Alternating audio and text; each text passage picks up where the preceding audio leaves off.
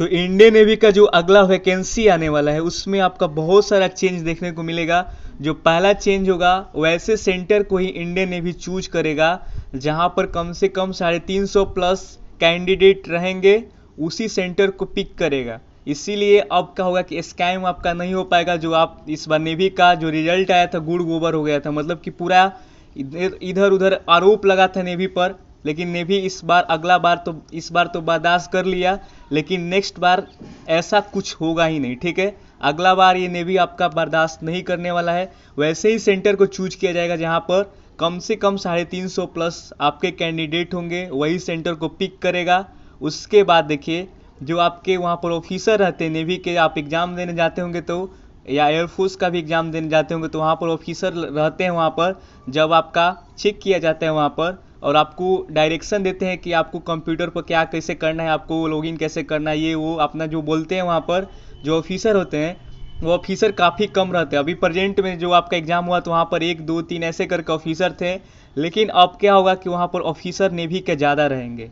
Private के, वहाँ पर जो लोग रहते हैं, जो ऑनलाइन सेंटर आपका दिए जाते हैं, मान लीजिए कहीं पर भी आप एग्ज़ाम देने जाते हैं ऑनलाइन सेंटर को ही पिक करके भेजा जाता है आपका, लेकिन अब ऑनलाइन सेंटर पे ही ज़्यादा वहाँ पर रहते हैं लोग आपका सब कुछ वेरीफाई करने के लिए लाइन में खड़ा करने के लिए तो ये अब कम रहेंगे आपके, जो प्राइवेट लोग हैं उस संस्था के जहाँ पर आपका एग्ज़ाम लिए जाते हैं ऑनलाइन सेंटर पर इनका संख्या अब कम कर दिया जाएगा। ये कुछ ही लोग होंगे जो आपका आई कार्ड लगाकर और ड्रेस जो पीला रंग का लगाकर, जो अपना कोई भी सेंटर रहता है, जो ऑनलाइन सेंटर का, जो आपका वॉलेंटियर सब वो लोग रहते हैं, उनका अब संख्या कम किया जाएगा और ऑफिसर का संख्या बढ़ा दिया जाएगा सेंटर पर, जहाँ भी आपका एग्ज़ाम होगा, ताकि ये स्कैम रुक सके, ठीक है? क्योंकि इस बार का रिज़ल्ट में काफ़ी सवाल उठाया गया है, नेवी पर तो नेवी नहीं चाहता है कि अगला बार से ऐसा कुछ हो, ठीक है? तो यहाँ पर अब अगला बार से आपका ऐसा कुछ होने वाला है नहीं। और उसका बाद दूसरा चेंज है आपका ये कि अगर ऐसा कुछ होता है बाई द वे अगर मान लीजिए जो चोरी करने वाला स्कैम करने वाला, धांधली करने वाला अगर पकड़ा जाता है बाई बाई द वे कोई भी अगर हैकिंग से रिलेटेड समस्या आ जाता है, कोई पकड़ा गया इस गैंग से तो उसका नेवी अपने तरीके से उसको टॉर्चर करेगा। ठीक है, आपको ये सुप्रीम कोर्ट और ये कोर्ट ये आपका धारा, वो धारा से नहीं निकला जाएगा।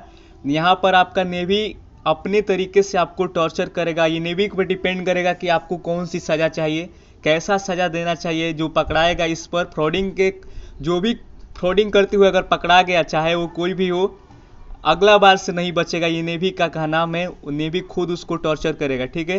किस तरीके से उनको पेश करना, ये नेवी खुद जानता है और नेवी पर ही डिपेंड करेगा। ये आपको अलग से कोई टॉर्चर वगैरह नहीं करना पड़ेगा किसी भी चीज़ के लिए, ये नेवी खुद हैंडल करेगा। अगर अगला बार से अगर कुछ होता है, लेकिन अगला बार से तो ऐसा कुछ होगा नहीं, डर के मारे वो कोई करेगा ही नहीं, क्योंकि नेवी अपना खुद यहाँ पर रोल निभाएगा, आपका अगर कोई भी कुछ भी पकड़ा गया तो समझिए कि आपका वहाँ पर हो जाएगा, कल्याण हो जाएगा, ठीक है? तो अगला बार से नेवी बहुत बढ़िया चेंज किया है, ठीक है? क्योंकि देखिए, नेवी जो है आपका इंडिया का सर्वोच्च सेना में आता है, ठीक है? Indian navy air force army. अगर इस सब पर भी बताइए, अगर क्लेम अगर स्कैम का आने लगेगा तो बताइए कि ये देश का कैसा मतलब कि सोचिए कैसा हो सकता है। तो इसीलिए भारतीय सेना पर हमेशा गर्व है और आगे भी रहना चाहिए सभी लोग को। तो जय हिंद, वंदे मातरम। मिलेंगे नेक्स्ट वीडियो में। अगला वैकेंसी नेवी का कब आएगा तो इसका वेट करिए वीडियो का। चलिए, और चैनल को सब्सक्राइब कर लीजिएगा, अगर नए आए हैं तो।